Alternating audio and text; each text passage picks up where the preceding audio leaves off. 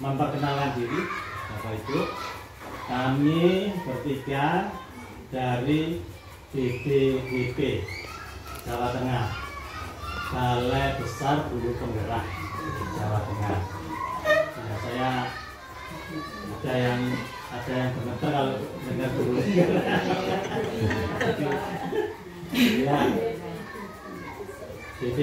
Jawa Tengah Bapak Ibu nah ini UPT ya unit pelaksana teknis Kementerian Pendidikan Kebudayaan Riset dan Teknologi yang baru. Kami baru lahir ya Juni lah. Ya baru lahir Juni. Dan Mas Eko juga guru pengawas yang saya hormati juga semua eh, guru-guru di engineering yang saya banggakan. Sebelumnya saya mengucapkan terima kasih Pak Anang karena terus terang mungkin dengan kerawan penjaringan-penjaringan ini nanti membawa kemajuan bagi guru-guru kami di sini terus kami di dinas memang masih berproses untuk eh, sosialisasi jadi kita mengarahkan semua unsur yang bisa membantu untuk mempercepat Ibu tidur ya.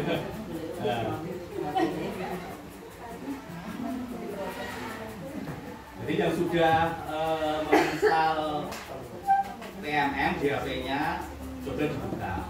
Oke. Ini eh, bunda-bunda semua sudah punya akun belajar ID? sudah Sudah ya? sudah Sudah semua sudah digunakan? Kenapa?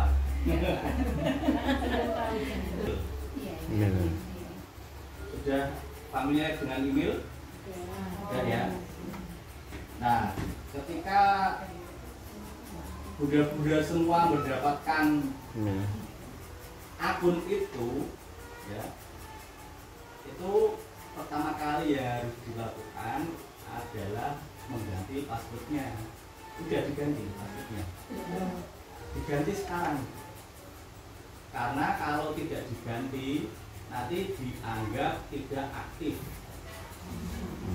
Kalau tidak aktif beberapa lama nanti saya nanti tahun 2030 itu kok sama saja. Nah itu namanya bukan eh, sistem informasi. Gitu ya.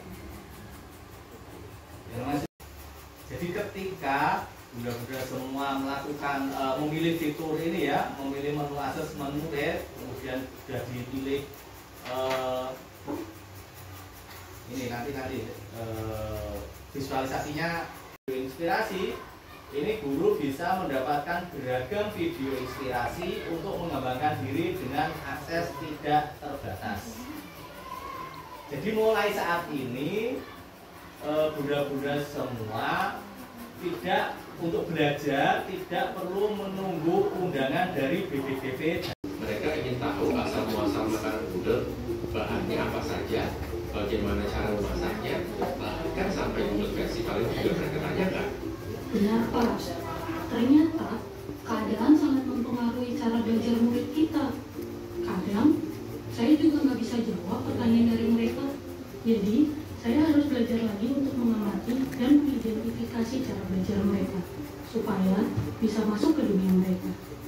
Iya ya Bu, saya jadi mikir, dulu saya kasih pengetahuan, informasi ke anak-anak selalu sebelum KBK 2004.